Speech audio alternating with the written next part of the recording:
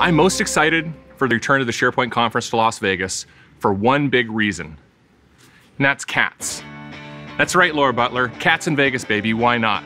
But before we get too excited about seeing Jeff Teper don a tabby or a Persian, let me drill into cats. So first of all, it's around community.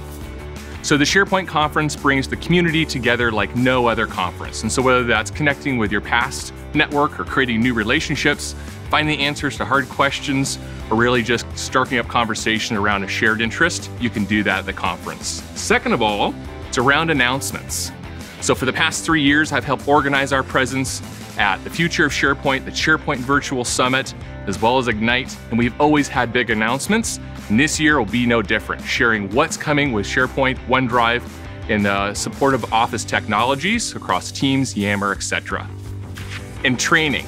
If you think around the SharePoint conference, what we're offering, there's over 100 sessions plus pre and post day workshops. If you're looking for deep dive education and training on SharePoint and associated OneDrive and Office 365 technologies, there's no better place to get it than the SharePoint conference. And last, as we're recording this video in gloomy Seattle in the dead of winter, I'm looking most forward to sun.